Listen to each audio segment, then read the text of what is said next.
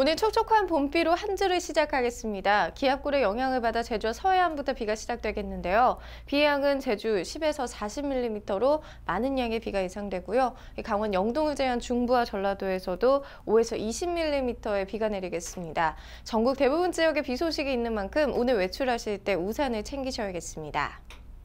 오늘도 포근한 날씨가 이어지겠는데요. 한낮 기온 서울은 18도, 대구 21도까지 오르면서 완연한 봄 기운을 느낄 수 있겠습니다. 평년보다도 훨씬 높은 기온을 보이겠는데요. 당분간은 이렇게 포근한 날씨를 보일 것으로 예상됩니다. 현재 서울에는 옅은 안개가 끼어 있는 상태고요. 그 밖의 지역에서도 연무나 방무가 살펴지는 곳이 있습니다. 오늘과 내일은 이렇게 옅은 안개나 연무가 끼는 곳이 있겠고 오늘 밤부터 내일 오전 사이에 서해안과 남해안 그리고 일부 내륙에 짙은 안개도 예상돼 교통안전에 주의가 필요하겠습니다.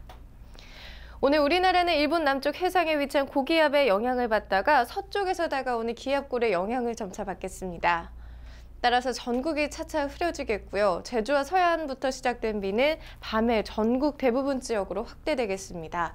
또 내일 새벽까지 해안 지역과 강원 산간에서는 바람이 강하게 부는 곳이 있어서 시설물 관리와 안전사고에 유의하시기 바랍니다.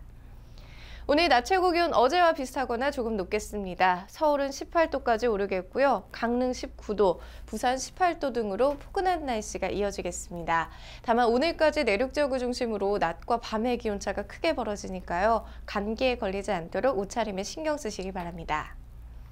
바다의 물결은 동해 중부 먼바다에서 최고 3m까지 점차 높게 일겠습니다. 내일 아침에 서쪽 지역부터 비가 그치기 시작하겠습니다. 오전에 대부분 그치면서 오후에는 대체로 맑은 하늘을 보실 수 있겠습니다. 지금까지 기상정보였습니다.